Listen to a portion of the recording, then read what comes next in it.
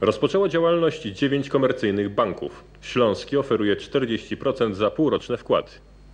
To już powinno być dawno opinie rolników o demonopolizacji skupu. Na stacjach benzynowych etylina droższa, ale chętnych nie brakuje. Przewiduję trudny rok w naszej gospodarce, ale odczuwalną poprawę klimatu politycznego, powiedział Mieczysław Rakowski w wywiadzie dla Prawdy.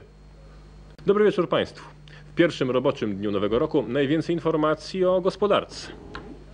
Na sukces gospodarczy będziemy musieli jeszcze trochę poczekać, ale dziś można już mówić o sukcesie wydawniczym Rzeczypospolitej.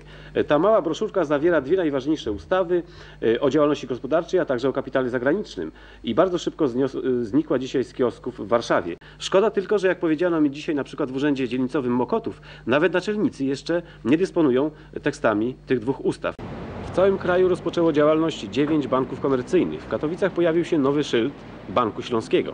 Działa w 7 województwach, dysponuje 36 filiami. Z jego usług będą korzystać przedsiębiorstwa i osoby prywatne.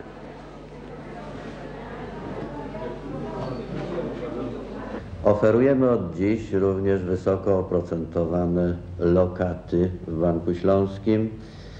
Od lokat zadeklarowanych na dwuletni okres płacimy 56%, od lokat zadeklarowanych na rok 50%, na pół roku 40%.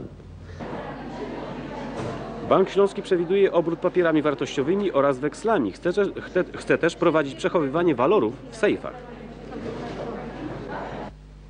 Podobnie Bank Zachodni we Wrocławiu, który zamierza prowadzić m.in. rachunki dewizowe obywateli.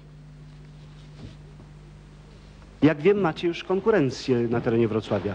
Tak, jest jeden oddział należący do Wielkopolskiego Banku Kredytowego, to jest dawny czwarty oddział, czwarty oddział NBP. No będziemy z nim konkurowali. Nowego roku Polacy posiadający paszporty konsularne nie muszą już przy wjeździe do kraju wymieniać dewiz na złotówki. No nareszcie. Bardzo słuszna decyzja. Przyjeżdżając do Polski zawsze wymieniałam pieniądze. Uważam, że jest to niesłusznie. Tak samo jak był okres czasu, gdzie Polacy na paszportach konsularnych musieli się starać o wizę do Polski. To był e, absurd. absurd.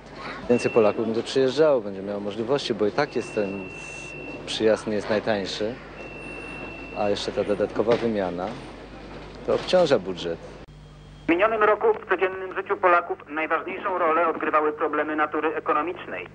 Przeciętny obywatel naszego kraju, czytamy w dalszej części artykułu, ocenia postępy socjalistycznej odnowy miarą zapełnienia sklepowych półek i płacy, jaką otrzymuje za swoją pracę. Nasze kłopoty wypływają również z tego, że znacznie trudniej jest osiągnąć sukcesy ekonomiczne niż widoczne rezultaty polityczne. Co się zaś tyczy Polski, premier przewiduje trudny rok w dziedzinie gospodarczej, ale też odczuwalne postępy w wewnętrznych stosunkach politycznych. To wszystko, co przygotowaliśmy w tym dzienniku. Do zobaczenia.